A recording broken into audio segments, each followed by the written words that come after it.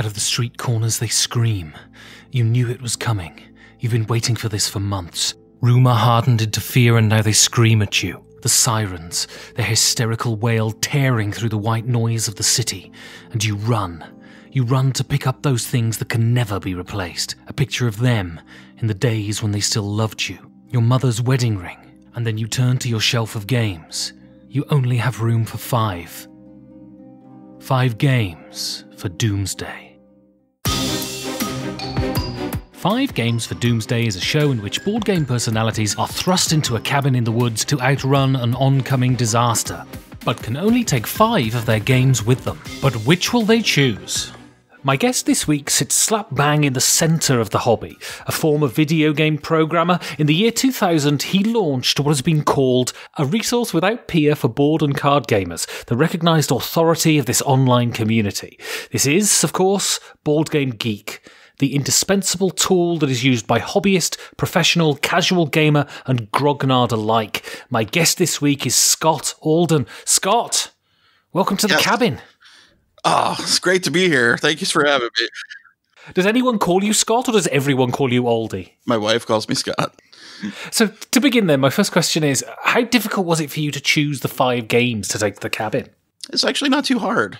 I was I was tormented by it when you when you first sent the email and i'm like oh and then i just when i actually sat down to think about it I, it came very quickly uh, i just had to think through the you know the past 20 years and pick what i what i wanted to bring and it they just kept coming and i'm like oh now i have six so which one do i take out you know like that kind of that was i was at that point. and so, what sort of criteria did you use? Was it simple practicality um, that these are the games I love the most, or was it sentimental, different things? I some of the games on the list are super sentimental and some are very practical like that's what i want to play right now so i would say it's a good combination of that a couple here a couple there and, and, sort of what kind of gamer are you? If I, I, if you were to choose using the board game geek ratings your ideal weight, where does that sit, or are you completely all over the so all over the map? I've changed. Like when I first started, I was definitely uh, I want to play everything.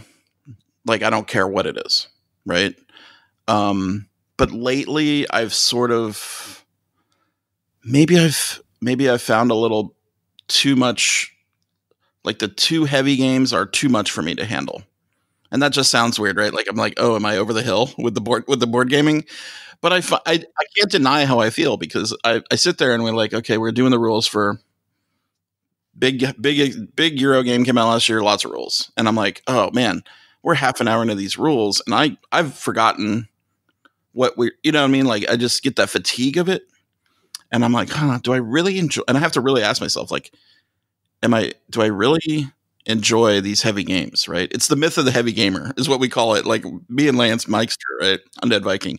We're always like, we want to play these heavy games because we want to be challenged and we want to see something new and we want to see like really cool stuff. And that and that happens in heavy games, right? Uh, but I've found that I can't the fatigue of it, like, oh, it's not as fun as I really wanted it to be.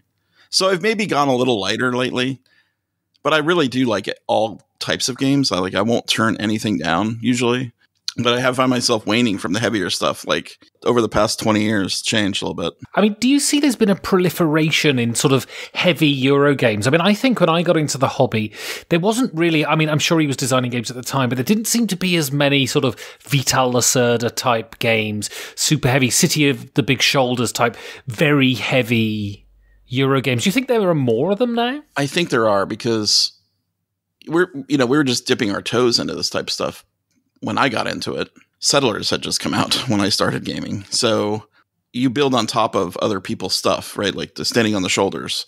And I think when someone discovers mechanics or a cool way to do something, then you basically take those mechanics and then let's go crazy. Like there are fit there are people who design and you you know invent, and then there are people who take that invention and use it to their ultimate power.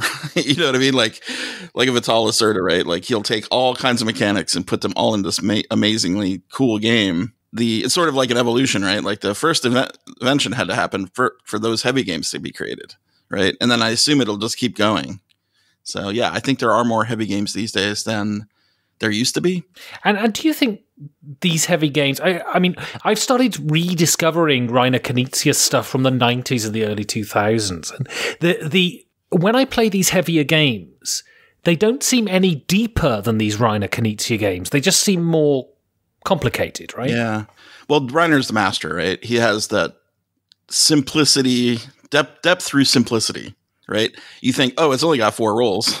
How hard could this game be? How interesting could it be? But you really do find out sometimes is like, oh, it's more than you think. And only after you play it a few five ten times then you start seeing oh it's even deeper than that right? Like there's all kinds of layers through Reiner Knizia so it's hard to like Vital Lacerda who just layers on tons of mechanics but that creates an, uh, an impressive complexity as well. But yeah some of the earlier games are just as satisfying i guess right? So you know i imagine i imagine that you know I I've inferred this from simply seeing how big the BGG collection is. I imagine you have lots of games. How would you feel about them all being destroyed and only having five games with you? Are you are you attached to your collection? Um, I used to be. uh, I used to be more attached to it, but I think over time I've felt less so, and that's probably also because it's not in my near vicinity. They're mostly all stored in a warehouse, which is about twenty minutes away. So you, when you see the games, you're like, oh yeah, I remember that game, and I remember that game. But then as the, the distance away, right? Like I have almost no games in the house right now, but uh, I've grown less less attached to them. I know a lot of people are like, I can't believe you put that X, you know, that super rare collectible game in the library for people to play, and I'm like, well, what do I what am I going to do with it? I want like I can just let it sit there and collect dust for years and then sell it maybe someday. So I feel less attached to the games. I do definitely feel like a loss of all the games would be probably devastating. So yeah, I mean, just to put it into, if you really, really believe that, okay, all my games are gone and I only have five forever and ever, yeah, it would be pretty devastating, I think. And so this this warehouse, you know, if I were to walk in there, how many games roughly do you think are there? Well, you'd see all of the releases from Essen last year, which I think was over a thousand in multiple in multiple copies. and then you would go into the back room and you would see the what we call the alphabet. Uh, and that's all games from previous years pruned uh, down to the best best games or the ones that are most popular, I should say, not necessarily the best. Um, and that would be 40 shelves of 200 games each, so about six to seven, eight thousand, something like that, on shelves. And then you would see five thousand or so in tubs of in back storage. So that's the like I think we're well over ten thousand now total. Uh, I want to go back to the beginning. So, when you were growing up as a child, were you were you destined to to be involved in board games? Was was gaming around a lot in your household? Yeah, I mean, um, before I got the video game stuff, for sure, we played. I remember when playing with my brother, we had Monopoly, obviously, but we also had the Jewish Monopoly called Chutzpah. I'm not Jewish, by the way, but we had the Jewish Monopoly. and we played that a ton and we always like had board games around and my neighbors my my um, childhood um, friends neighbors had games too so i i'm just you know thinking back on all the stuff we did as kids like we played a lot of games we played a lot of board games. i remember sitting on the floor playing like battling tops and the slime monster game you know where this all kinds of cool 80s games. So I do remember playing games a lot as a child until obviously the video game stuff came and then kind of switched to those. Um, but we always played games. I played Dungeons and Dragons growing up uh, when it wasn't cool. Yeah, so it's always been around me. I mean, I never thought I would make a living off of it. I mean, it never seemed. You never. I think as a kid, i just think like, oh, these games exist because something somebody wanted to make them, but like you never knew. You were never aware of like the process or the work required to make a game. So I never, you know, you just kind of just took it for granted. But yeah, I guess I guess I was always destined for this.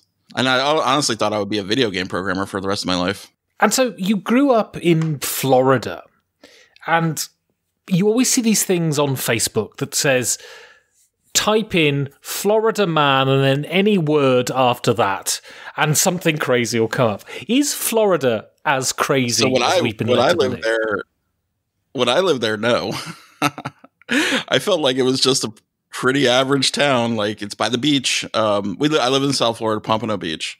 Um, but I'm just trying to think of like as in a times change, right? Like, so I lived there in the 70s and the 80s, and I moved out in the 90s. So I'm, and I well, I went to uh, University of Florida, which is still Florida, but Gainesville is like this really kind of secluded town in Central Florida.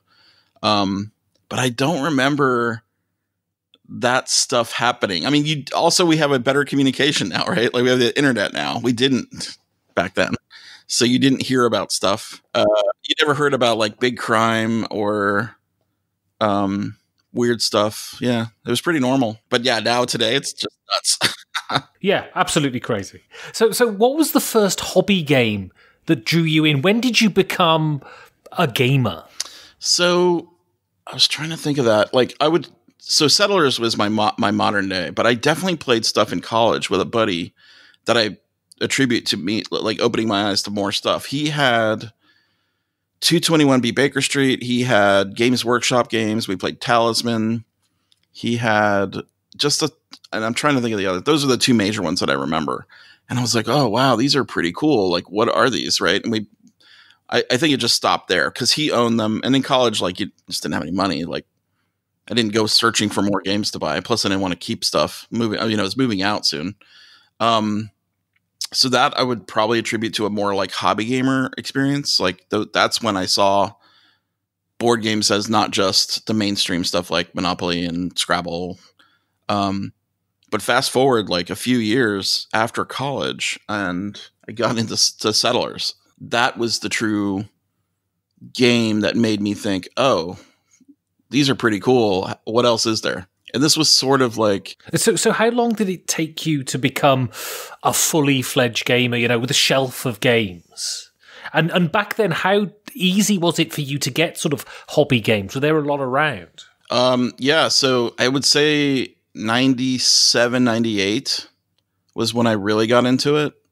Um and the internet was around but it wasn't fully commercialized yet. Um it was hard to track down information. There was a I don't know if you're aware of a thing called Usenet, which was um, basically like a global bulletin board system. Uh, people could post up things, and there was a sub uh, a group called rec rec.games.board, which was a bulletin board system about board games. And so I would look there, and I forget what brought me there. I think it was some like me looking for an old Games Workshop game and I searched. I think there was some search engines like Alta Vista or something like that. This is pre Google. Um, that brought me to Rec Games Board, and I started reading it. And that's when I read about the Dallas Metro Gamers. so it's a local group here in Dallas. Um, they had weekly sessions. They were getting together, and people were writing about the games, right? And so I in- self-invited my I invited myself to that group, and I got in. I got like basically uh, they interviewed me and checked to see if I wasn't a wanker. That was their words. Um, so once I got into that group, uh, I started learning about German games, right? Like they had a lot of, I, I started reading about Die Macher. I started reading about like, um, I, I was obsessed with trying to find Elfen Road.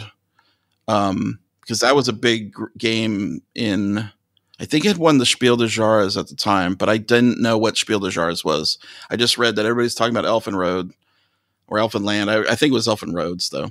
Um, and I went to all the shops in Dallas to try to find it. And that's when I picked up Catan. And uh, I also bought Manhattan. But then after I started getting into that Metro Gamers group, we played all kinds of stuff and people were ordering things. And I'm like, well, where do you get this? Uh, and how are you finding out about these games? And that's when I got turned into the Diggers mailing list, which is a Yahoo group, which also had a, uh, a interview process to get in. And I'm like, once I got in there, but you know, you, there was a lot of gatekeeping back then.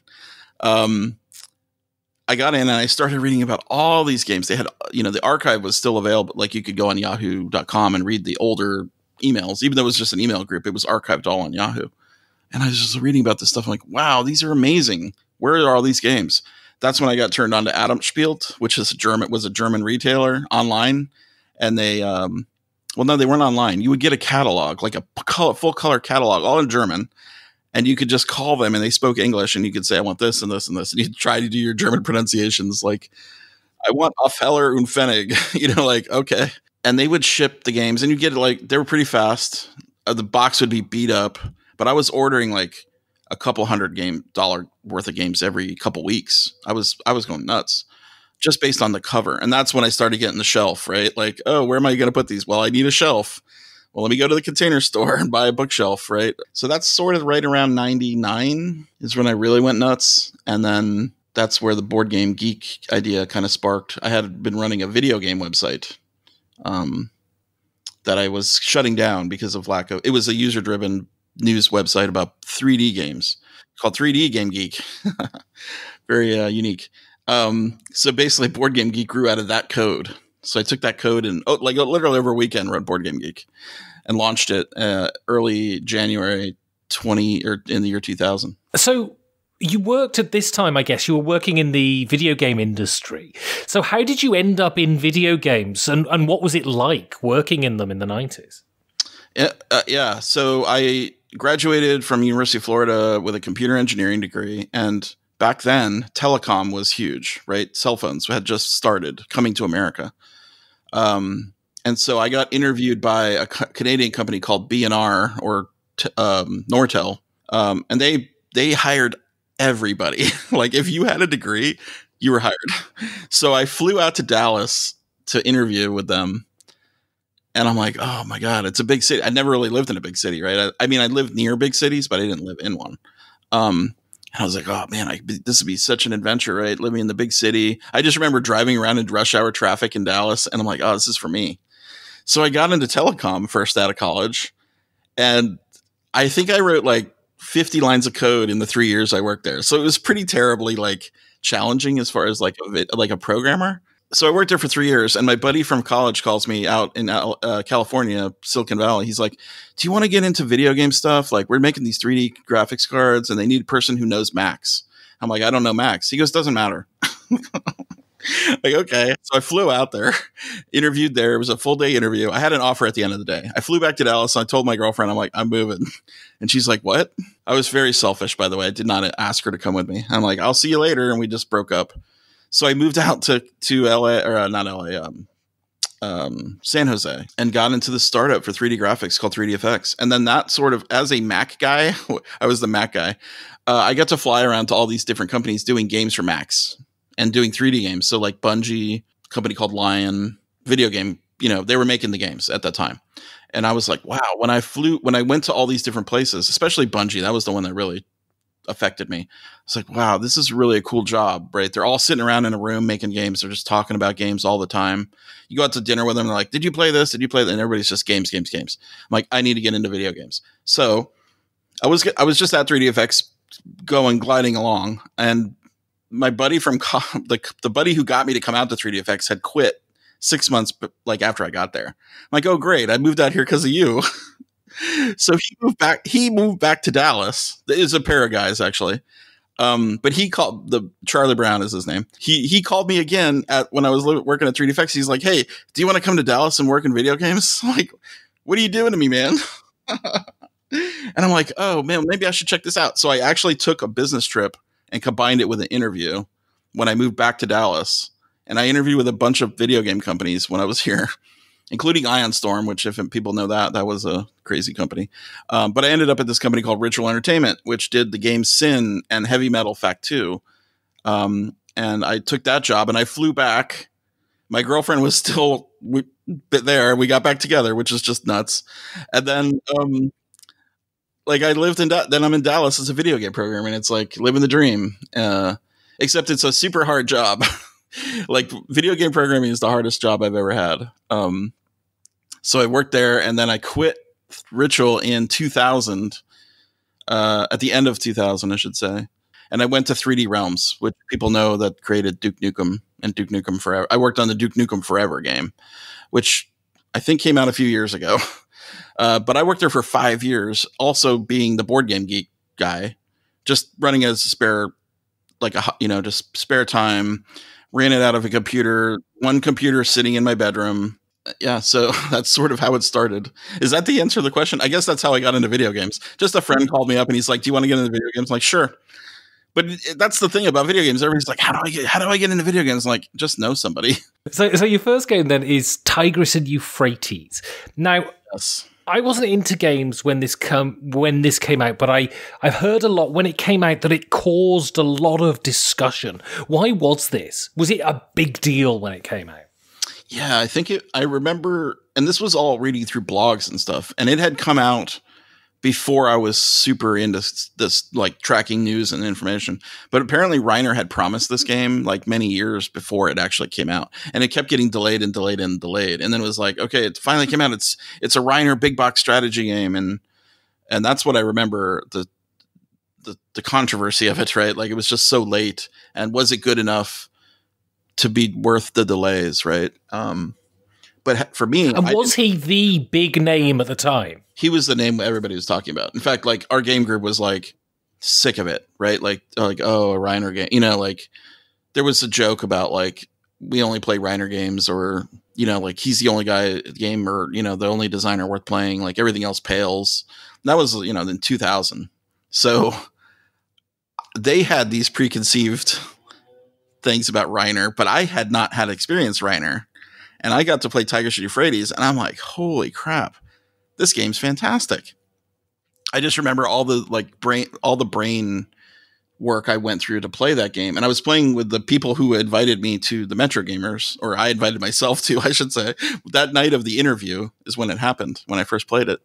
And they were playing hard against each other, and I kind of snuck in there and made those little kind of sneaky moves that you can do in that game and kind of like it just won. And they like they they were stunned, right? Like so that has always been in my brain for that game is like that first play. I was fascinated by it. I had to order it from Germany. Um, got it from Adam Spielt, the uh, the original version. Yeah, and it just sat in my brain a long time. And I actually implemented a on online play of it on Board Game Geek. Uh, so you could basically log into your Board Game Geek account and go play Tigris and Euphrates. By it was turn based, right? You do turn, and the other person do turn, and you'd go back and forth, like play by email kind of thing. But it was graphical, and it had some. basically, I was like learning web coding of you know by creating that game and it ran for a lot of years but i shut it down eventually And so, what would you say to someone who's reluctant to play it? How would you convince them to sit down at the table with you? Gosh yeah i mean i know a lot of people just they don't they don't like the simpleness of it right? The plainness of it. I don't know. I guess i would just say it's got some of the most interesting decisions you'll ever make in a game right? With two actions. You'll just be like you'll be agonizing over what to do. Um I mean, you try to say it's the struggle of empires, right? Like the rise and fall of civilizations, and it's sort of like an abs, but it's it's kind of an abstract game, right? But it's got it's themeless abstract, or sorry, abstracted through the theme is come through the abstract nature of the game. So it's a little bit of a hard sell uh, these days because all of the displays of everything now is so crazy, like overproduced, right? Like the production value of games like brings people in, like, ooh, what is that? But this one has a simple layout and yeah, I don't know. It's it's a hard sell sometimes, but once I tell people, and some people just don't like it. Like they're like, "Why? What? That didn't do anything for me." And I'm like, "Well, maybe play it a few more times." But then you know that barrier of the first play is so hard to get over. Like if you don't like a game on the first play, most people will not play that game again. They'll just move on. And so, we've we've kind of touched on this, but how how integral do you think Reiner Knizia is to the hobby today? Would the hobby be in any way similar if Reiner Knizia hadn't been around 20 years ago designing these games? Yeah, good point. Uh, good question. Um, I don't think so because remember when I was saying like inventors invent, right? Like he is that inventor. Yeah, and he put auctions in games. Like I remember like Modern Art being the first game where I've ever like auctioned anything. Yeah, so I think he's that core, right? Like he created a lot of the core concepts of modern board gaming. So I don't know if there was if there was no Reiner, there would I think those things would eventually happen, right? Like they're kind of obvious. Although I say that like oh deck building was obvious, but it didn't happen until you know like 10 years ago. So it's like yeah, so it's hard to predict like if he wasn't there, if he didn't invent the wheel, would the wheel have been invented? Yeah, I don't know. I think he's core. Like he's irreplaceable, right? Like I don't think maybe there would be a different Reiner, but I don't think so because he's just so prolific. Like he has designed hundreds of games, like that people build off of, right? So I want to talk now, go into Board Game Geek, and you, you've mentioned quite a bit of it. But so so before you started, so you talked about these this this sort of Yahoo email thing, and but was there anything that was like a central database for games that was similar to BGG, or was BGG completely original at this time? Um, I think back in the day when I surfed for board games, it would be it would be Usenet, it would be the that Yahoo group of talking, um, but there was also the Game Cabinet. I don't know if you, have heard of that. That was the core um, place you went to find information about games, but it had been defunct for many years when I got in. Mix Mixfelov had a blog. Uh, Stefan O'Sullivan had a blog. Uh, Stuart Dagger. That was a very cool like zine, right? Like paper. You could only get it on paper form. Um, but it was thick. It was like 100 pages, like double, you know, folded over and stapled. And it was just dense, filled with board game information, like reviews. It's so good. Yeah, th- those were the things. It was so it was so archaic, right? It was sort of like I searched everywhere. Like I would use those old Alta Vista search engine, you know, or like the dog pile or but it was just hard to find, right? Information. I'm like, this sucks. This is everything's hard to find. Why can't we just have a central board game website with all the games on them? Um, I'm like, man, this that was the thing. I'm like, I want to track what games are out. I want to know what I've got, and I want to talk about them. And that was sort of the, you know, the aha, like, oh, I can use this 3D Game Geek code because that's like a blog and then I could basically do a database of the items, right, to track those games. And then it sort of grew from there. Like, let's come up with all the mechanics of games, like paper and pencil. We just started writing them all down, and it was based on our collections, right, at the time. Like, what games did we own? We'll start there and just go and enter. And the Metro Gamers uh, guys were really good about that. They, I gave them all the admin proper, you know, power, and they could just go create, like, take their collection and just add it in, right, the bare minimum of information, designer uh, name of the game, a brief description, uh, what year did it come out, you know, that kind of stuff. And so, was it always the intention to have it as a not just a central information repository, but a but a community where people could come in and add their own stuff and write reviews and posts and opinions and all of that sort of stuff? It was no, it was never designed that way. like I just wanted like a read only kind of thing, right? But we would put all the info information into it. But then we're like, oh, this is really hard, right? Like all we're doing all day long is cutting and pasting stuff. And we had permission, like, so in that Yahoo group, thousands of reviews, thousands of session reports. Um, Greg Schloesser, definitely one of those guys that was super prolific. He played every week, maybe some multiple times a week. He wrote detailed reports of everything he played, thousands of them for years, all in this, all in this group. And um, I'm like, Greg, can we like just cut and paste these and like attribute them to you? And he's like, yeah, sure. like, okay, we start cutting and pasting. I'm like, huh, maybe we should just make it where they could do it themselves. like, like, we just all we're doing is cutting and pasting and giving attribution. Why don't we make it so they could do it? That's where the user system came in. So I'm like, oh, people can create an account and then upload their own stuff. Uh, okay, let's do that. You know, write code, write code. Okay, we launched it. Everybody can start adding stuff now. Oh, awesome. 500 reports come in from Ben Baldanza. Thousands of game session reports come in from Greg Schloesser. All these reviewers were like, "Oh, I can finally post my stuff somewhere." Boom, here you go. And then that's sort of where it took off, right? Like that user creation. I guess you would call it Web 2.0, right? Like user generated content. And then it, it just has gone crazy from that. And so Die Macher is famously the first game that was put into the database. And in the new reprint, that was sort of part of the ad copy. Why why this one? Why was Die Macher the first BGG? It, it honestly game? was the top game right there. We are just the one we were thinking about the most, right? At the time, it was in our collections, and we just picked that one out and did it. like that was it. And it was based on our collections. It was also based on session reports that um, people had written. They're like, ah, we got some session reports for this. Let's let's make that the first one. No, no reason. In, I mean, like it was not for any love of it. I don't think. Like it was just, oh, there's the first one. let's do it but yeah, it's kind of weird, right? Because it's like the granddaddy Euro, Euro deep Euro game from back in the day. And so you, it took you became full time BGG in 2005, I believe. So, firstly, why why did it take you five years for it to become your job, and then what was the feeling, sort of waking up that first morning where you thought, "Board Game Geek is my job now"? yeah, exactly. Well, I've been. I wasn't really. I guess I can't lie. The Duke Nukem Forever game was never coming out. Like it was. It was just this endless cr- crunch cycle of making a video game. Right. In my previous company, we did two games in three years. Right. This was my fifth year, and I'm kind of like, yeah, kind of getting a little like bored with it. Um, Board Game Geek had been growing like more and more, like getting more users, getting more demand, right? It had moved out of my bedroom into a, uh, a, you know, a real computer, you know, website. Like it racks of servers, like that needed work. Someone had to maintain all that stuff. Um, and I'm like, I just got to. I'm spending all my time, my free time, doing this. Why don't I just do it full time? That was like the decision. Like it was at KublaCon. On, the, I remember this exact moment talking about it, and it's like, it was the summer of yeah, 04 or it was Memorial Day weekend actually, because that's when KublaCon is. So it's right about now, back in 04. Um, so on the train from San Francisco to uh, where the KublaCon is, which is just outside of San Fran. And I'm like, you know what? I should just just do this full time. Like, I think we can make it work.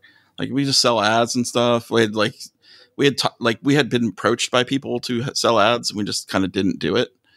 Uh, we had AdWords on there, and we started making a little bit of money. And we're like, eh, this could probably afford me uh, you know, with a with a pretty large pay cut. Um, like, I'll just do it. like, okay, let's do it. And I quit that at that end of that year out of 3D Realms. Um, and then in January of 2005, I woke up. You're right. Like I woke up that next day. I'm like, oh, this is my full time job now. Hmm. What do I do now? right. What's the first thing I should do? Well, I'd always been wanting to write this system, you know, this programming thing. So I did it. Right. And like, then that was that. It just like one after the other, like development came really quickly back then. Um, it didn't need to be. A, it's it, it's changed a lot. It needs to be a lot more robust to handle millions of users. But back then it was like thousands of users, right? It wasn't wasn't millions. In fact, I was just looking at some stats the other day. It took us five years to get to fifty thousand users, and last month on Board Game Geek we signed up fifty thousand users. So that's that's kind of the difference of what has happened in all those years. But but even even there at that that point, sort of five years in, did it feel like it was the the center of the hobby in the way it, in the way it is now?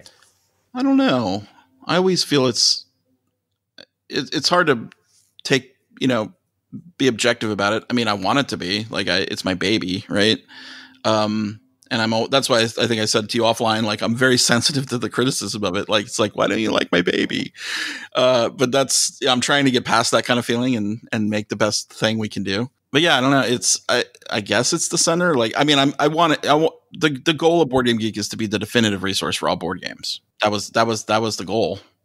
Um, and then the other things have kind of sprung off of it, like the marketplace and the conventions and you know those things and the cruises and just the videos we do and it's just all sprung from that idea, right? Like how can we keep this hobby growing and people being finding information about it? Like that's sort of the that's sort of the goal. So your next game then is is a classic and a, a, a, sort of very aged classic at this point, and this is Arkham Horror. So, you know, Arkham Horror is often been cited as the first co-op game. Was it? Was it? Which version, firstly, are we talking about here? Are we talking about the eighties one? Or are you talking about the I was hoping second edition from FFG? I was hoping you were going to ask me that. I mean, I'm just going to say all of them. Um, no, but I guess I would probably go back to the original. Uh, not the original original, but the the second. I guess it's second edition is what you would call it. Um, the second edition that had like 15 expansions for it. I think uh, that one. That one is my favorite, just because of how crazy it could get. Like just the it was very um the play space of it could go really off the rails right? You could sometimes you could see like oh there's no way we're gonna win based on what what's what's going on. That one is the one that's just so wild and crazy. Like i, I just love what every what it, what everything it does i just love. Sometimes you can have a crap game of it right? Like you can get stuck and you can't do anything.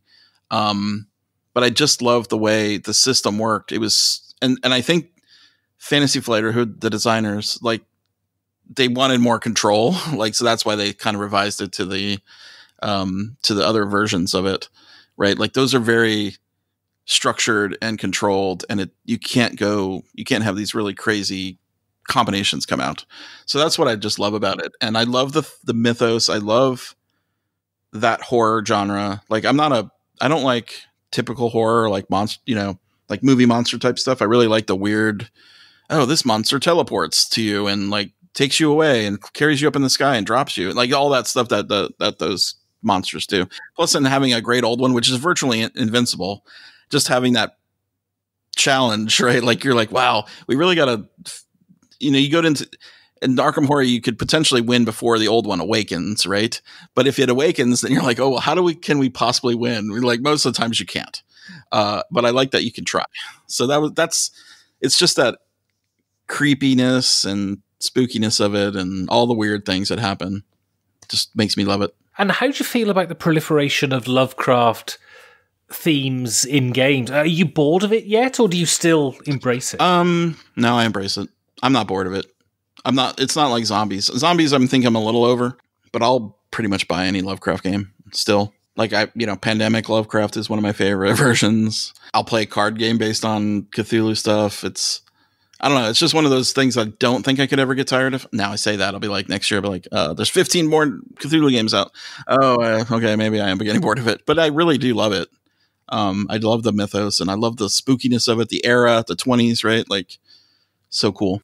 Uh, do you think it it is that it, the it creates such a such a world, such an atmosphere that draws so many gamers to it? Must be, yeah, it must be. Um, there's something about it. You can't wrap your head around it right? Like you think about it, if you put any real deep thought into like the existence of this stuff, like, okay, it's so crazy that it can't possibly happen. But here it is in a game. Uh, so I think that's what people like about it. So I want to talk now about one of the most talked about things in gaming. And this is the uh, BGG Top 100. So when did that come in, the idea to rank games based on user oh, judgment? Gosh. Oh, it's been it's been long enough now that I don't remember when it when it first started. I would say maybe it was the early mid mid two thousands. I think is when it started. What people don't know about Board Game Geek is a lot of things were not well thought out. that would be really shocking, right? We're like, oh, would it be cool to do this? Like, yeah, it would be really cool, and I would spend a night of coding, and it'd be done, right? I just put it out, like not knowing what the implications of meaning a ten point rating system would be, right? Like everybody's like, oh, it's a terrible rating. So, you know, like, uh, okay, well, it was it was the right thing to do at the time, and now we have it, and we have millions and millions of ratings. Like, what do we do with them? Well, let's rank it. Let's just put them in a ranking, whatever. Okay, code it, done. Hey, here's the top five thousand ranked games. like, okay, done. Then twenty years later, you start getting like, oh, this game is terrible. Why is it number one? It doesn't have any appeal to the the, the regular public. Like, if times have changed, right? Like even in the past five years, like a lot more people are coming, a lot more scrutiny comes out, a lot more criticism, a lot more, I think, overthinking of things personally. I'm not an overthinker. I try not to overthink things. It slows me down, right? Um, like a casual person coming across this list, they all these games are not good for casual people. Like, well, okay, I agree with that, but there's a family game thing, but it's not the top 100, right? It's there's an alternative ranking system that people can't find that's my fault. Um, probably to uh, finding things on BGG has always been hard, just because there's so much stuff. Right? It's a it's a very challenging, uh, you know, user experience challenge. Like we have a we have a full time UX guy right now, and he's like, uh, you know, he he boggles at some of this. He once he realizes how much stuff there is, like each time we expose him to another facet of board game, he's like, oh god, you know, like it just it overwhelms him even as an expert. Um, so yeah, I don't know. Like it came out in the mid 2000s, um, early 2000s, mid 2000s, and then it's just sort of grown from there. I didn't think it would be a such a. Uh, I mean, I guess I should have thought that, but people, I didn't think people would go to it and point to it as, oh, this is the best game ever, right? Like, because but gaming is a very personal, subjective experience, right? Like, uh, some of those games on the top 100 are not my favorite games at all. Like they're not even close, right? So I understand that, but they are a favorite of a lot of people. So I, that's the way it is. I don't know. I don't. I try. I don't have a good explanation for why it is, but it is, and why we did it. I'm like, well, we, oh, we have all these ratings. Let's just rank. Let's just sort it, right? You're, as a computer programmer, you sort things. like that's the way it works. You make things and then you sort them, and you want to look at them, and it's interesting, and that's what it was. How are they ranked?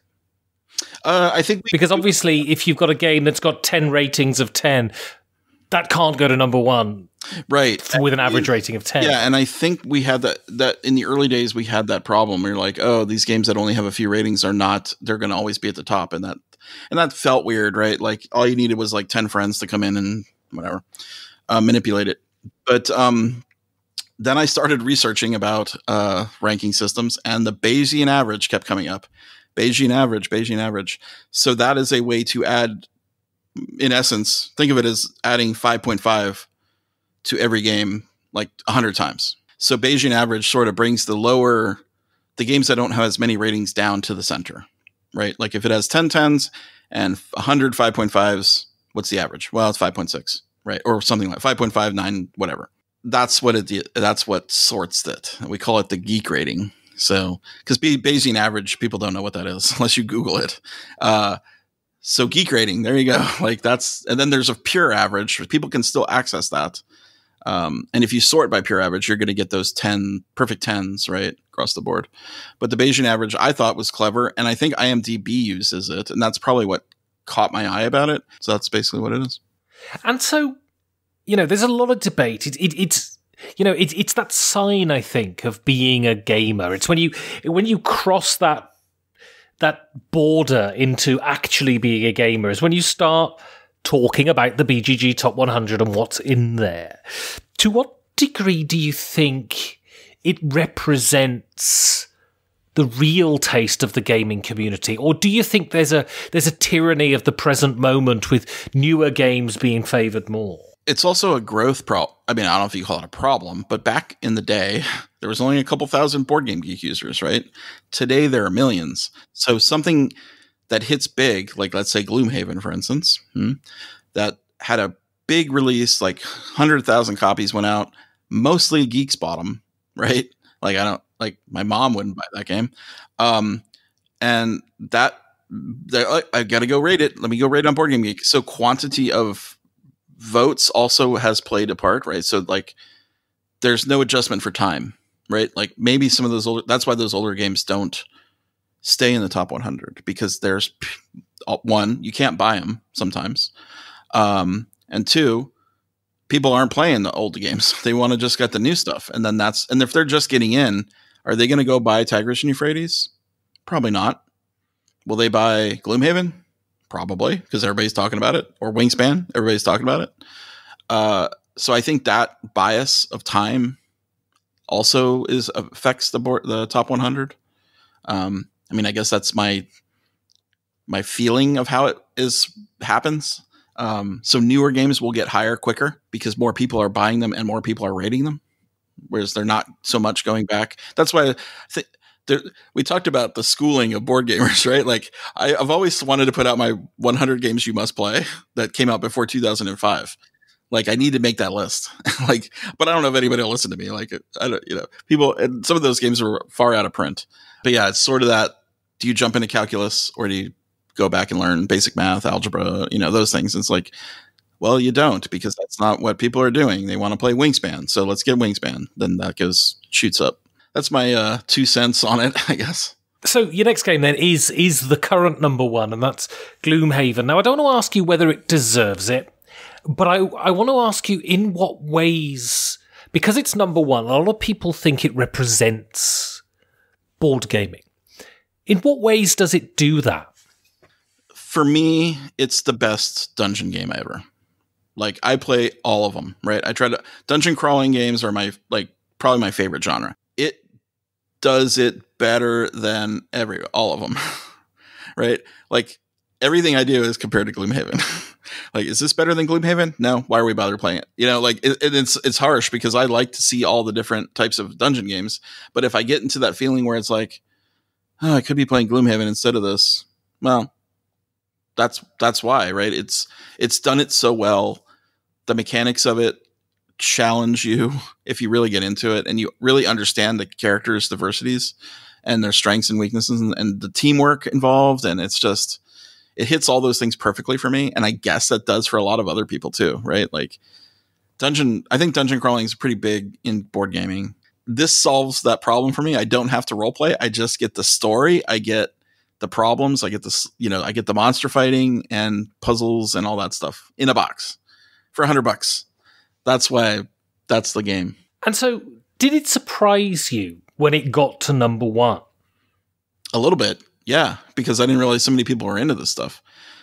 And I remember, I remember a sort of a thing that happened at BGG Con we were, we were playing uh, we were doing a uh, preview event with Isaac Childres, the designer, and a woman came up to him and and asked him a, a secret.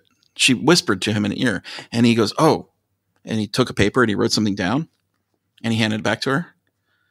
I'm like, oh, so there's something going on here, right? Like Gloomhaven related. She said some code word to him too. Like I don't remember what it was. I'm like, oh my gosh, this is deep, right? Like there's something, and I don't even know what they're talking about because I haven't played Gloomhaven as much as I should have. Uh, and that's another reason why I'm bringing it to the cabin because I want to kind of finish it. And I'm like, wow, this is different, right? Like I, that's an unexpected event that I never have seen in board gaming. There's some kind of meta thing going on, secret puzzle. And I asked her what it was, and she, like, she was kind of, she went out the room. And when I came out of the room, she was standing there and she was writing something down on her paper. And I said, What was that all about? And she goes, and she just yanks the paper away and like hides it from me. And I'm like, okay, sorry. I don't know what, right? Like, like, okay, that's something different that, that it, maybe there's more to this than just the board game, right? Which could be its popularity as well, right? To help, like, if you know the secret club, then you've got something else beyond just regular play playing the game. So there's something special about it for sure. And so we we're recording just after Isaac has made oodles and oodles of money on the Frosthaven campaign. Under, How excited are you yeah. for Frosthaven? I'm super excited. I want to see what it evolves into.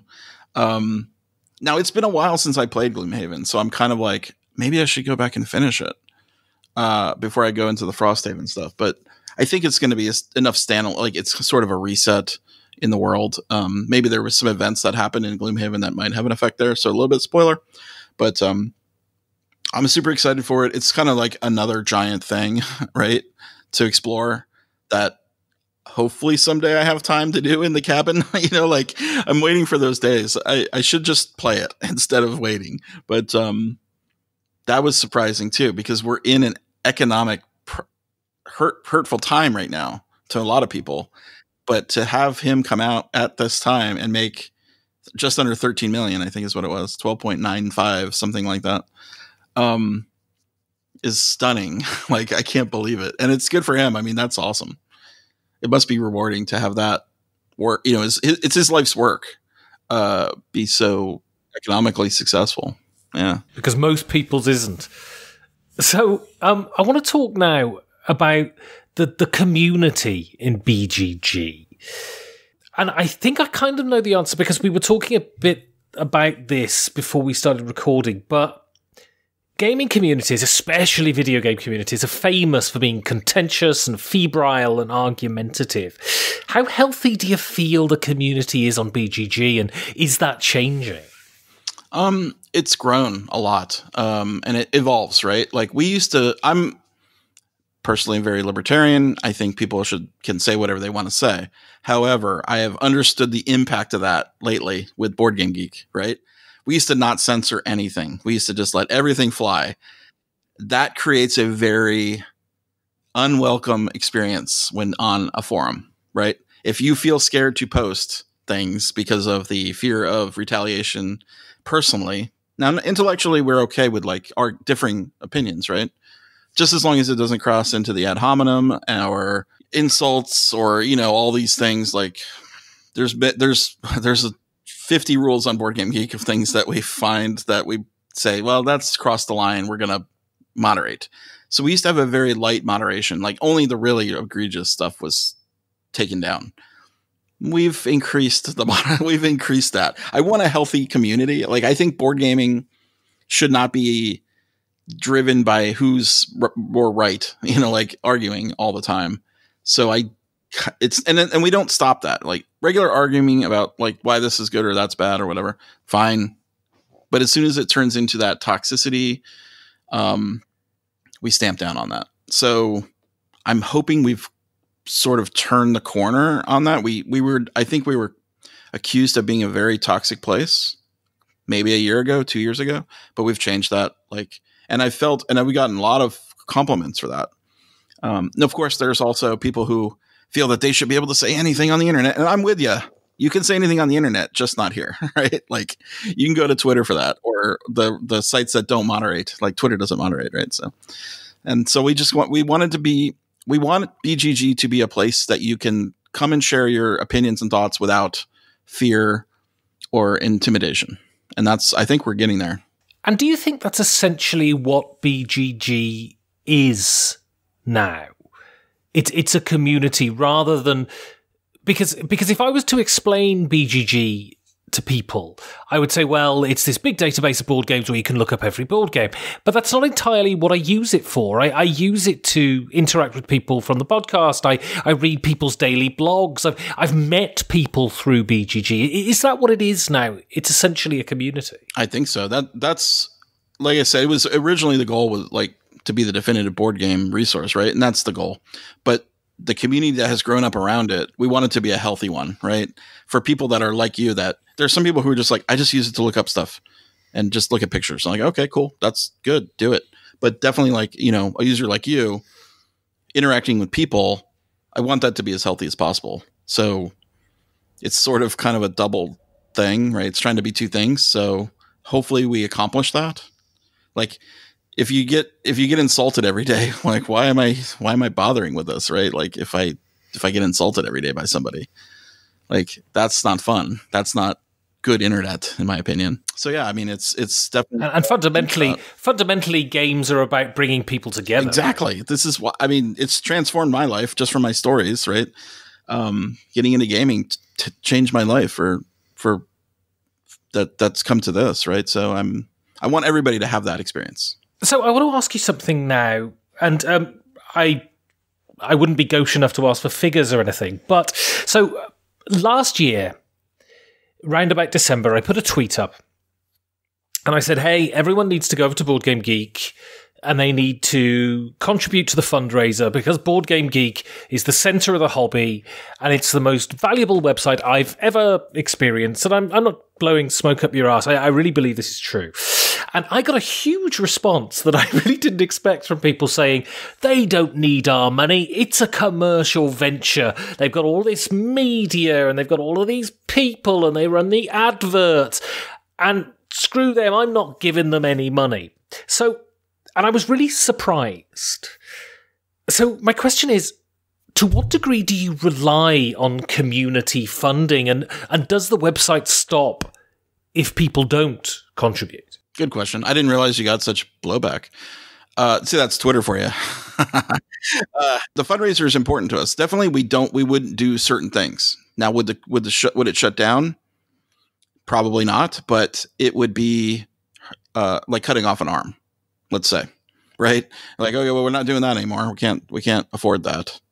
Um, so yeah, and, and honestly, the the fundraiser, it's one of those things that's like asking for money. I I always am struggling with it every year, right? Like, how do people like? Do you basically what we're asking people is like, if you find some value in way the way you use, and this is you know, it's obviously non obligatory, right? You can not, you can choose not to, and people support in different ways, right? Like either through financial or through contributions, right? Like through uploading pictures or uploading videos or talking about game, blogging about games, writing review.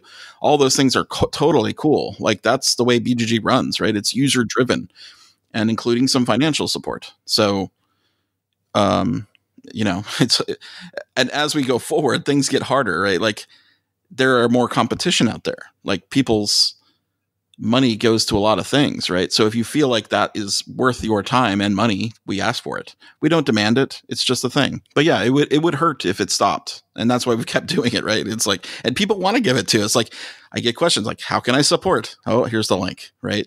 Like definitely and I think I don't know. The the Twitterverse is cruel. like you you're going to get no punches pulled there. I mean, I think I think people someone said well they hire all these media people and they pay all these media people. Why should we pay for that? How did you decide to go into the media sphere to hire rodney and the brothers murph and do game night and that sort of stuff? Yeah i mean it's just one of those kind of like we've always been sort of opinionless and faceless.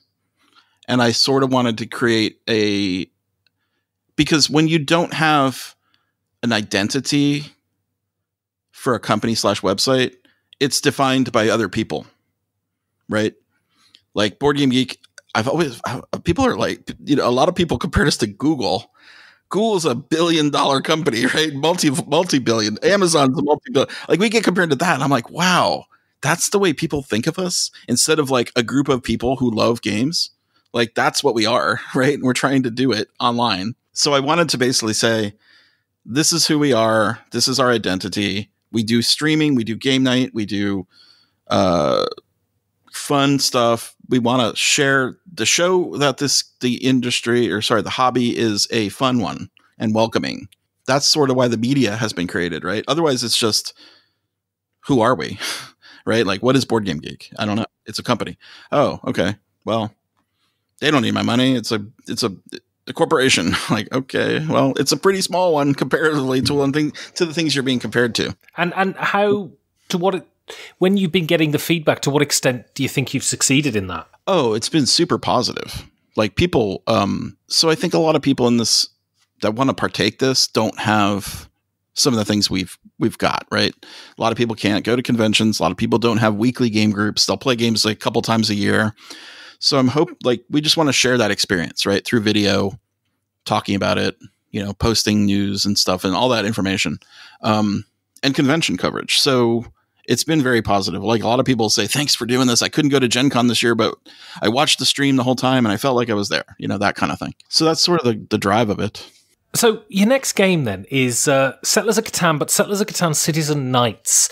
So I've not played this. Of course, I played Settlers, but I've not played this. What does this bring to Settlers? Oh, so much more. I think if people played Cities and Knights their first go, they would not be so dismissive of Settlers, right? like Cities and Knights brings in so much extra stuff that it's almost overwhelming. Like that's why people don't play it first. It's got a lot of what Chrome. Um, and that's what that's when I started playing Settlers. I played it a lot. Believe me, I, I love Settler. I still play it. But when I started playing Cities and Knights, I'm like, oh wow, now this is like a like there's way more things to think about. So it gives you that Settlers feel. Uh, it's obviously still driven by the dice. Not that's not changed. But there's so many more little things to do, right? Like there's barbarians are going to come and knock down your wall city. Whoever has the, the the weakest city gets destroyed, and there's so many like there's more there's more resources like high, more technology to build and there's also more uh, interaction in the game so that's why i like i prefer cities and knights to just regular settlers and i think that if people played that one first it wouldn't be so I, I don't know it's weird like everybody when we when when when we got into gaming I mean personally City Settlers was the shit. can I curse on this podcast? You can believe that if you need to. Um, it was like, certainly can. Oh, yeah. Okay, like we were like, oh my god, that was the that was so great. Like because you just didn't have anything. But obviously now today we've got so many choices. We got so many more better games theoretically. Uh, you know, by people's opinions. Um, Settlers has a hard time uh, but Cities and Knights is really interesting to me, so I, that's the one I picked it. Plus, it define it. it I, I, didn't mention this when I get in the gaming. When I when I got Settlers, I stayed up all night playing it with the guys. Right, we were like hooked, and that was like, oh, I got to see what else is out there. Right, that it changed my life. You know, we've we've spoken about Knizia and how important Knizia is. But do you think the modern hobby, especially the modern Eurogame hobby, is built on the shoulders of Settlers of Catan? Probably some of them. Yeah, probably some things. I think it sort of showed that you don't just have to roll dice to move, right? Roll and move kind of games. Like, oh, the, it generates resources. That's a different way of thinking. It, it makes people think differently. Like, as soon as you have those paradigm shifts, that's like what transforms things, right? Like, and that transformed, at least for me in my mind, gaming. Um, and the trading part, like there's a little negotiation in uh, Monopoly. I think like I think you can trade. I can't remember if that's in the rules. it's been a while since I played Monopoly, but I think if people forget about that part of the game, and this is front and center, right? You got to trade and trade well to win, or do you know give you an edge. Um, and I think that just kind of makes people think differently. And when you think differently, like, oh, what if we did that? Like, it opens up barriers, right? Like, you think, oh, we could never have this part of a game, it be a game, but well, settlers did it. Okay, well, now I can make a game with that kind of thing. So, definitely, um, definitely has changed the world. So, I want to talk now about the future. So, what's what can we expect to see from BGG in the next sort of two years, five years, 10 years? Yeah.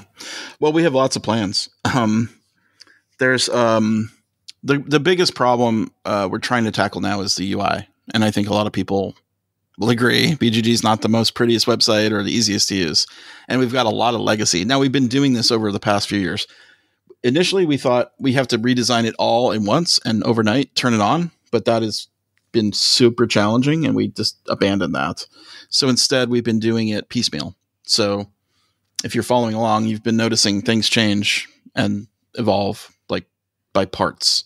That sort of gives this weird like why is it broken on the you know like people are like why does it do this on that page but this on the other we're like well we're trying to do it in stages right um, so that is our biggest challenge right now is just redesign and like i said we've hired a full-time person um, and he's been now i think he's been here for two years working on this um, doing each part separately the front page is going to change very soon uh, so you have a scoop uh, that's coming within I, I want to say a month, but I'm always cautious on giving times because it always never works. Um, and it's it's an interesting change because right now Board Game Geek's front page is all automatic autom or um uh, algorithmically driven. Not a and and and in no real it's not a very um complex algorithm. It's just basically whoever thumbed the most stuff, hot hot stuff, fr- goes to the front the new one will be more interactive with your profile. So at least that's the goal. Uh, based on your games that you you look at and you play and you rate, um, will evolve your front page. Um, and so you'll have this sort of stream of gaming information come across, and you can just scroll and scroll and scroll and scroll and get more information. So that's a big change. There will also be a lot more edit- editorialized content, right? Like we can we can highlight things, we can create structures of uh, games or information based on one person's editorial, right? Like all these picks of the games are for 2020, right? Like that kind of stuff. Um, and it'll be like a little module on the page. That's a lot different than what it is now, right? We just have the only really way we have control over Board Game Geek right now is the news section. We can post things and we can pin messages to the front page. So this will give us a lot more flexibility and creativity of making new things. Um, that has been evolving. We're still trying to add more video content. Like we still have gaps. Like there'll be I my goal for the video is to have a a, a new video every day of the week, Monday through Friday. That's challenging because it's a hard thing to make video. Uh, at least a video people want to watch, right? The conventions we're we're starting to go into the virtual convention. We announced the virtual BGG Spring since BGG Spring was canceled. We want some event that basically highlights playing games. So that's coming soon. So that might change, you know, depending on how successful that is. Maybe we'll start doing virtual conventions, you know, annually or or more often. Um, and we're also going to be doing, um, and this is basically you know coronavirus inspired. We weren't we weren't really changing that much pattern this year with going to conventions. In fact, we had already gone to four before this happened. Um, we're going to do virtual, not virtual, but uh, live streaming of uh, like 18 games that are available to purchase right now and the publishers will come on and do the demo online. So they'll be on their webcam. We'll be at our studio with the game sitting on the table, and we'll demo it. So that's a new thing. Um, and we're always looking for more stuff. Like there's so many like things that people wish for, like a wish list of features. Like I would love to do all that stuff. It's just challenging with a small team, right? Like what do we focus on? So I would love to do all the little things that people have always wished for, but you know, it ta- it takes time and money programming. So, on that then, how many people does BGG currently employ, and how many do you sort of envisage it growing to, or is it grown to its maximum size? Do you think? It's a good question. Um, so, I did a count the other day. It's like 20 paid people. Some of them are employees, some of them are contractors. So, it went from two to 20 over 20 years. Um, we had a retreat at the beginning of the year, and this was this is everybody who's like part of the team, right? Like the the core there's so many admins and and like volunteers. There's hundreds of them. And so when you look, I mean, I don't know, I don't know if being in the center of it, you realize sort of how important BGG is to gaming. I was thinking about this today, and I can't think of any other hobby in which there is one place that is the central hub of the hobby in the way that BGG is. When you sort of think about that, how does that make you feel? Hmm. Well, thank you very much for that. Um, I mean, excited and happy, right? I mean, I we get a lot of criticism, I guess, being that central hub. Uh, so I sort of kind of sometimes get myself down on that. Like, why am I bothering with this? Right. But at the end of the day, like, I have to look past that and be happy that we are here. I mean, I'm that's super lucky, right? Like, there's so much stuff now these days on the internet. Um, to have that title that you just gave us, that's all. I mean, I, I'm happy, excited, uh, overwhelmed, right? Like that's a big responsibility. Like everything we do is is watched and and analyzed. Like if we, hopefully we don't screw up, that kind of like the pressure is high. Um, all of those things. And so I've got one. I've got one question for you.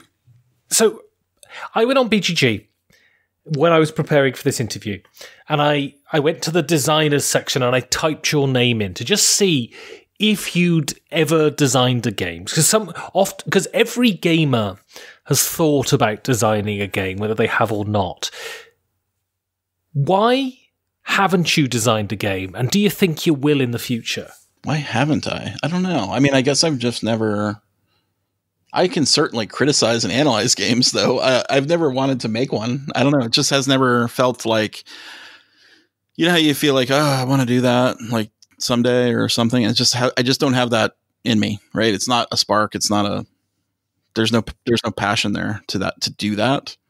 Um, will I ever? I mean, I've I've thought about like uh, most recently, like what would be a fun solo game to play, like in this time of like not being able to go out and and hang out and do stuff, right? And I've started playing a lot of solo games. I'm like, oh, I, I wonder if I do I have that in me? Like, do I do I have an idea that I could figure out? And then it went away. like I think about it for five minutes in the shower. Like, oh, it's gone. Like, oh, I gotta, I gotta go do something else, right? Like, it's so, it's not. I don't know. It's just you know, some people aren't. It just doesn't. It, I know a lot of gamers definitely feel that way. Like, I talked to all my group, and one of the guys is actually a designer, and one of the guys is like, I got this design in my mind, and then the other guy's like, Yeah, I've thought about it. like me, I'm like, no, I don't care. But um, yeah, no, I don't know. I, I, it's a, one of those questions like how is it not there i I mean, in video game, when I worked in video games, I was making game type decisions. Um, so it's in me, right? Like in the video game world, um, but not in the physical board game world. it's it's super hard, by the way, and I get bored quickly. I think that might be it. And I I play tested a buddy's game. He's been developing it for years, right? And every like six to eight months, he brings it out and he's like, oh, we gonna play this again? Yeah, like I know that a lot of good, great games, the great ones, have been play tested to death, and I feel I would just get bored with that.